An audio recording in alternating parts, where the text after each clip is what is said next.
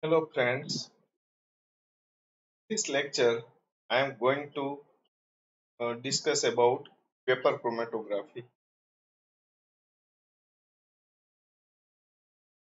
Paper chromatography is nothing but a type of partition chromatography. This chromatography is a planar technique of chromatography. So it is also called as planar chromatography in which water act as a stationary phase. જુઓ water એટલે કયું water કે જે paper cellulose filter પેપરનું બનેલું છે તો એ સેલ્યુલોઝના ફાઇબર્સમાં જે absorb થયેલું વોટર છે it will act as a stationary phase in case of paper chromatography on which separation of compounds occurs મિક્સરમાંના જે કમ્પાઉન્ડ છે, એનું સેપરેશન છે, એ પેપર પર થશે. પણ અહીંયા ફિલ્ટર પેપર જે વાપરીશું, એ ફિલ્ટર પેપર છે, એ સોલિડ સપોર્ટનું કામ કરશે. અને ફિલ્ટર પેપરમાં જે સેલ્યુલોઝિક ફાઈબરની અંદર એબ્સોર્બ થયેલું મોઇસ્ચર છે it will act as a stationary phase principle શું છે? The substances are distributed or partitioned between two liquid phases. One is mobile phase, another one is stationary phase. In this case, in case of paper chromatography, both the phases are liquid, mobile phase as well as stationary phase. The stationary phase is held between the fibers of the cellulose, is absorbed water. The mobile phase travels through capillary action along with the filter paper. Depending upon the movement of mobile phase, paper chromatography is divided into these three categories. જે mobile ફેઝની movement હોય પેપરની અંદર કઈ રીતે mobile phase travel કરશે એના આધારે ascending paper chromatography descending paper chromatography and circular paper chromatography આ ત્રણ ભાગે ક્લાસિફાઈ થાય છે. એસેન્ડિંગની અંદર capillary action through bottom to top એવી રીતે મોબાઈલ ફેસ ટ્રાવેલ કરશે. જ્યારે ડિસેન્ડિંગમાં ગ્રેવિટેશનલ ફ્લો થી મોબાઈલ ફેસ ટ્રાવેલ કરશે. એનો મતલબ એમ કે ટોપ ટુ બોટમ જ્યારે સર્ક્યુલર પેપર ક્રોમેટોગ્રાફીમાં મોબાઈલ ફેસ છે, એ સર્ક્યુલરલી હોરિઝોન્ટલ મેનરમાં ટ્રાવેલ કરશે. તો સૌથી પહેલા જોઈએ ascending paper chromatography see mobile phase travel from bottom to top through capillary action as I have talk earlier આની અંદર પણ બે વિભાગ પડે છે. Paper chromatography ascending paper chromatography પણ બે રીતની હોય છે. એક છે વન ડાયમેન્શનલ પેપર ક્રોમેટોગ્રાફી જ્યારે બીજી છે ટુ ડાયમેન્શનલ પેપર ક્રોમેટોગ્રાફી તો ચાલો આપણે જોઈએ એક પછી એક. સૌથી પહેલા વન ડાયમેન્શનલ પેપર ક્રોમેટોગ્રાફી આ રીતના સેપરેશન જોવા મળે છે. સ્પોટિંગ કરેલું હતું અને ત્યારબાદ ધીમે ધીમે સેપરેશન થયું. તો એમાં કઈ રીતે હોય છે જુઓ.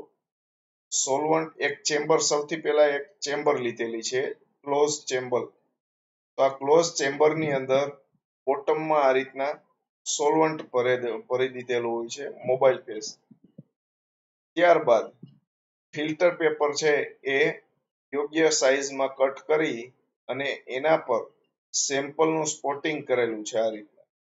Desired spotting. સેમ્પલ હોય અથવા એક સેમ્પલ, એક સ્ટાન્ડર્ડ, ડિપેન્ડિંગ ઓન. અને ત્યારબાદ સોલવન્ટ છે એ આ રીતના capillary action through from bottom to top અહીંયા સુધી રન કરાવીશું હવે આનું સ્પોટિંગ કરતી વખતે કાળજી લેવાની વસ્તુ કઈ છે? તો કે ફિલ્ટર પેપર પર તમારા સેમ્પલ છે, એનું કોઈ પણ જાતનું ડ્રોપ ઉડે નહીં. નહીતર એનું પણ સ્પોટ તમને જોવા મળશે. તો આ થઈ ગઈ વન ડાયમેન્શનલ પેપર ક્રોમેટોગ્રાફી ત્યારબાદ ટુ ડાયમેન્શનલ પેપર ક્રોમેટોગ્રાફી તો ટુ ડાયમેન્શનલ પેપર ક્રોમેટોગ્રાફીમાં પેલો ફેસ જે છે એ વન ડાયમેન્શનલ જેવો જ છે, એટલે કે સ્પોટિંગ કરેલું છે. અહીંયા એક જ સેમ્પલનું સ્પોટ થશે સિંગલ સ્પોટ તો એ સ્પોટિંગ કર્યા પછી એને રન કરાવી દીધું અહીંયા સુધી. તો એની અંદર તમને બે અલગ અલગ કમ્પોનન્ટ સેપરેટ થાય છે. ફોર એક્ઝામ્પલ તો ત્યારબાદ અહીંયા સુધી જે તમે એચીવ કરી લ્યો ત્યારબાદ તમારે આ જે પેપર છે ક્રોમેટોગ્રાફિક પેપર છે, એને ચેમ્બરમાંથી બહાર કાઢવાનું, બહાર કાઢી અને એને ડ્રાય કરી દેવાનું. એ ડ્રાય કરી દીધા પછી એને ninety degree ninety degree rotate કરી અને ફરી પાછો અલગ સોલવન્ટ એટલે કે સોલવન્ટ નંબર ટુ એની અંદર પ્લેસ કરી દેવાનું. હવે અહીંયા જે સેમ્પલના સ્પોટ છે, જે સેપરેટ નથી થયા, જે કમ્પાઉન્ડ બંનેની અંદર એ કમ્પાઉન્ડનું સેપરેશન આ બીજા સોલવન્ટ મીડિયામાં થઈ જશે. તો આ ટેકનિકનો ઉપયોગ ક્યારે કરવામાં આવે છે? જ્યારે વન ડાયમેન્શનલ પેપર ક્રોમેટોગ્રાફી છે, એનાથી તમને સેપરેશન ન મળે, ત્યારે તમારે ટુ ડાયમેન્શનલ પેપર ક્રોમેટોગ્રાફી નો ઉપયોગ કરવો પડે છે. ત્યારબાદ જોઈએ ડિસેન્ડિંગ પેપર ક્રોમેટોગ્રાફી તો ડિસેન્ડિંગ પેપર ક્રોમેટોગ્રાફીમાં આ રીતના એક ક્લોઝ ચેમ્બર ગોઠવવામાં આવે છે. એ ક્લોઝ ચેમ્બરની અંદર અહીંયા એક ટ્રે રાખવામાં આવે છે. સોલવન્ટની ટ્રે ફોર ડેવલપર અહીંયા ટ્રે છે એ વ્યવસ્થિત રીતે ક્લેમ્પ કરેલી હોય અથવા તો અહીંયા સ્ટેન્ડ કરેલી હોય છે. આ રીતના હવામાં ના હોય. આ તમને ટુ ડી ફિગર છે એટલે એવું દેખાય છે. Is clamp over here side wall અથવા તો નીચે સ્ટેન્ડ આપેલું હોય છે. એ ટ્રેની અંદર, એ પેટ્રી ડીશની અંદર તમારું ડેવલપર ભરેલું હોય છે. ત્યારબાદ અહીંયા એક ગ્લાસ રોડ ફિટેડ હોય. આ સ્પેશિયલ ડિઝાઇન કરેલી ચેમ્બર હોય છે ડિસેન્ડિંગ પેપર ક્રોમેટોગ્રાફી એક ગ્લાસ રોડ કરેલું જે પેપર છે ગ્લાસ રોડ છે, એના પર આ રીતનું પેપર છે, એ રાખી દેવામાં આવે છે. અહીંયા પણ ગ્લાસનું વેટ રાખી દેવામાં આવે છે પેપર પર. અને અહીંયા પેપરને ઇન્ક્લાઇન નીચે જે લટકાવી દઈએ છીએ, તેઓ બોટમ પર પણ એક ગ્લાસ વેટ રાખી દેવામાં આવે છે. એટલે કે અહીંયા તમે ગ્લાસ વેટ રાખી દીધું, તો શું થશે? કે તમારું આ જે પેપર છે એ વ્યવસ્થિત રીતે નીચેના ભાગમાં રહેશે. તમારું ફિલ્ટર પેપર અહીંયાથી વેટ થશે, અહીંયાથી મોબાઈલ ફેસ ટ્રાવેલ કરશે અને અહીંયા ઉપરથી નીચે તરફ આ રીતના ગતિ કરશે. હવે અહીંયા જે સેમ્પલ્સ લખેલું છે, ત્યાં આગળ તમારે સ્પોટિંગ કરવાનું હોય છે સેમ્પલનું અહીંયા સેમ્પલ એપ્લાય કરી દીધું છે. મોબાઈલ ફેઝ અહીંયાથી ઉપર ચડશે અને ત્યારબાદ ગ્રેવિટેશનલ ફ્લો થ્રુ નીચે જશે. આ ટેકનિક જે છે, એ કમ્પેરેટિવલી સ્પીડી છે. કમ્પેરેટિવલી ફાસ્ટર છે. અને આનો ઉપયોગ ક્યારે કરવામાં આવે છે? તો કે components which are having very low RF value. ત્યારે આ ટેકનિકનો ઉપયોગ કરવામાં આવે છે.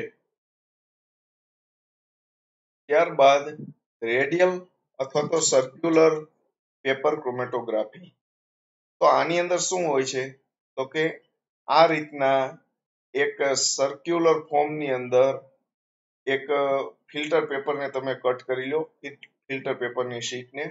અથવા તો કટ ન કરો તો પણ ચાલે. તમે એને આ રીતના વચ્ચે એક ક્રોસ માર્ક બનાવી દે. ક્રોસ માર્ક બનાવી દીધા પછી અહીંયા જે કર્સર છે, ત્યાં એક હોલ પાડી દેવાનું ટાઈની. એ હોલ પાડી દીધા પછી ત્યાં એક વીક રાખી દેવામાં આવે, વાટ બનાવવામાં આવે. અને એને વાટને પેટ્રી ડીશમાં બોટમમાં રાખી આજે તમને ઉપરનો સેક્શન મેં બતાવેલો છે. એ પેટ્રી ડીશમાં વાટ રાખી દેવાની અને એ વાટમાંથી ઉપર અહીંયા ફિલ્ટર પેપરને તમારો મોબાઈલ ફેસ ટચ થશે અને ત્યારબાદ સર્ક્યુલરલી ફિલ્ટર પેપરની અંદર તમારો મોબાઈલ ફેસ ટ્રાવેલ કરશે. હવે અહીંયા તમે અલગ અલગ ચાર જગ્યાએ સ્પોટિંગ કરેલું છે લાઈન પર. અહીંયા છે મિક્સરનું સ્પોટિંગ કરેલું. સપોઝ તમારી પાસે ત્રણ કમ્પોનન્ટનું મિક્સર છે એ બી અને સી તો એનું સ્પોટિંગ અહીંયા કરેલું છે. અને એમાંના જો ત્રણેય કમ્પોનન્ટનો તમને ખ્યાલ હોય કે શું હશે કે શું નહીં, તો એ ઇન્ડિવિજ્યુઅલી અહીંયા એ અહીંયા બી અને અહીંયા સી એનું સ્પોટિંગ કરી દીધું. ત્યારબાદ તમે એને ડેવલપ કરવા મૂકી દો. Over a time after development તમને અલગ અલગ zones મળે છે અલગ અલગ coloured bands મળશે filter paper પર જો અહીંયા separate થયેલા band દેખાશે અહીંયા same manner ની અંદર same colour વાળા band individual દેખાશે અને ત્યારબાદ તમારે એની rf value count કરવાની થાય છે મેં અહીંયા arrow મારી અને value લખેલી છે જુઓ અહીંયા a લખેલું છે a માટેની value છે કંઈક અહીંયા b માટેની value છે ત્યારબાદ અહીંયા c માટેની value છે આ solvent front ની value લખેલ છે એની value છે two point three અહીંયા two point three four point two અને five point three same વસ્તુ અહીંયા individual component માં પણ જોવા મળશે તો rf value અને rx value છે એના વિશે આપણે જોઈએ આગળ એ બંને migration parameter છે rf means retardation factor એને rf value કહેવામાં આવે છે એ કઈ રીતે count થાય તો કે it is a ratio of distance travelled by the solute to the distance travelled by the solvent ત્રણે ત્રણ technique ની અંદર rf value છે એ ત્રણે ત્રણ technique ની અંદર આ technique લો અથવા તો આ technique લો પણ તમારું જે distance છે say for example આની rf value count કરવી હોય તો અહીંયા origin line છે origin line થી solvent front એટલે આ distance distance travelled by solute divided by distance travelled by solvent અહીંયા સુધી આવી ગયો તો અહીંયા લખેલું છે distance travelled by solute એટલે અહીંયા c સુધીનું five point three divide by distance travelled અહીંયા solvent front જ્યાં અહીંયા સુધી ચડાવેલું છે તે જ્યાં સુધી run થવા દીધું છે તે તો retardation factor આ રીતના ગણી શકાય rf value છે એ unitless quantity છે એને કોઈ unit નથી અને એની value હંમેશા એક અથવા તો એક કરતા નાની હોય એક ક્યારે હોય તમારો compound જ્યારે highly soluble હોય mobile phase ની સાથે ત્યારે mobile phase ની સાથે સાથે જ run કરે માની લો કે આ mixer માંનો કોઈ એવો compound હોત કે જે અહીંયા સુધી run કરે ક્યાં સુધી જ્યાં સુધી solvent front તમે જવા દો છો ત્યાં સુધી તો એનું જે divide થશે distance travelled by solute and solvent both are equal in that case rf value is one otherwise it is always less than one every substance has definite rf value under specific condition condition કઈ તો કે temperature solvent solvent ની purity બરાબર છે filter પેપરની quality તો આ બધા પર આધાર રાખે આ જો સેમ કન્ડિશન હશે તો આરએફ વેલ્યુ સેમ રહેશે જો એમાં ચેન્જીસ આવશે તો આરએફ વેલ્યુ પણ બદલાઈ શકે આરએક્સ value rx value શું છે? તો કે એવા કિસ્સાની અંદર કે જ્યાં તમારે chromatogram ને કરાવવો પડે. overrun મતલબ આ અંદર જુઓ. આની અંદર અહીંયા સુધી જ આપણે રન કરાવેલું છે. મતલબ કે અહીંયા સુધી ફિલ્ટર પેપરનો ભાગ છે. એની એકાદ સેન્ટીમીટર, એક કે બે સેન્ટીમીટર નીચે સુધી તમે રન કરાવો, ત્યારે એ પ્રોપર રન છે. આવા કિસ્સાની અંદર આરએફ વેલ્યુ ગણાય. પરંતુ આ solvent front છે એ તમે overrun કરાવો એટલે કે અહીંયા filter paper આખે આખું mobile phase થી wetted થઈ જાય ત્યાં સુધી તમે run કરાવો તો એવા કિસ્સાની અંદર તમારે rx value ગણવી પડે તો when the solvent is allowed to overrun the chromatogram solvent flow cannot be measured solvent no flow measure ન થઈ શકે તો એવા કિસ્સાની અંદર rf value ને બદલે rx value ગણાય કેવી રીતે તો કે distance travelled by solute from the origin line to the distance travelled by standard substance from the origin line જુઓ આ rf value છે આપણે મોટા ભાગે ninety nine percent કિસ્સાની અંદર rf value જ કાઉન્ટ કરવાની થાય છે પરંતુ ઇન સમવોટ ડિસ્ટન્સીસ ક્યારેક અમુક કિસ્સાની અંદર આરએક્સ વેલ્યુ તમારે ગણવી પડે તો આરએફ વેલ્યુ કેવી રીતે ગણેલી છે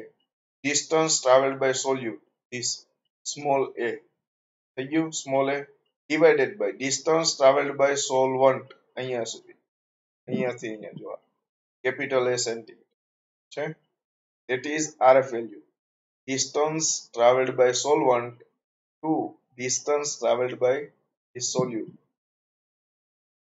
અહીંયા unknown compound છે આ mixer એમ લખેલ છે એ mixer છે જ્યારે A છે એ standard છે B એ standard છે standard A standard B અને આ બંનેનું mixture જુઓ અહીંયા overrun કરાવી દીધું છે overrun કરાવી દીધા પછી શું થાય છે તો તમારે overrun કરાવી દીધા પછી આ રીતનું તમારે calculation કરવી પડે સૌથી પહેલા distance traveled by solute divide by distance traveled by standard અહીંયા distance traveled by solvent હતું અહીંયા distance traveled by standard કરવું પડે એટલે કે આ જે standard છે આ આનું standard એની RX value કેમ ગણાય તો distance this from m to this divide by this to this એ જે distance scale ની મદદથી માપી અને જેટલા સેન્ટીમીટર થતું હોય એ પ્રમાણે calculation થઈ શકે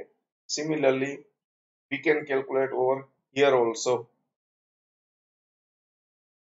હવે value છે એના પર કયા કયા પ્રકારના પરિબળો અસર કરી શકે which kind of factors affect the RF value જોઈએ આપણે one by one સૌથી પહેલા તો type of filter paper used કયા પ્રકારનું filter paper વાપરેલું છે વોટમાન વાપરેલું છે તો વોટમાનની અંદર કયા પ્રકારનું છે વોટમાન one છે forty one છે forty two છે કયું છે તો એના પર RF value આધાર રાખે ત્યારબાદ nature of solvent એટલે કે solvent ની polarity કઈ વાપરી છે એના પર પણ RF value આધાર રાખે છે characteristics of components of the mixture તમારું જે mixture માંનો component છે એનો nature કેવો છે acidic છે basic છે polar છે non polar છે એના પર આધાર રાખે solvent નો direction કેવું છે ascending છે descending છે એના પર પણ RF value આધાર રાખે and also temperature તમે same ideal condition ની અંદર early morning માં paper chromatography run કરાવો અને જે RF value આવે એના કરતા બપોરે જ્યારે temperature high થઈ ગયું હોય ત્યારે RF value ફરક પડે તો એ બંનેની અંદર change આવશે ત્યારબાદ amount અથવા તો concentration of mixture in the spot paper chromatography છે એની એક capacity હોય mixture ને carry કરવાની તો એનું moderate concentration હશે તો એમાં proper તમને spotting જોવા મળશે જો concentration high થઈ જશે વધારે હશે તો RF value છે એમાં change આવવાના chances છે તો આજે આપણે paper chromatography વિશે ચર્ચા કરી thank you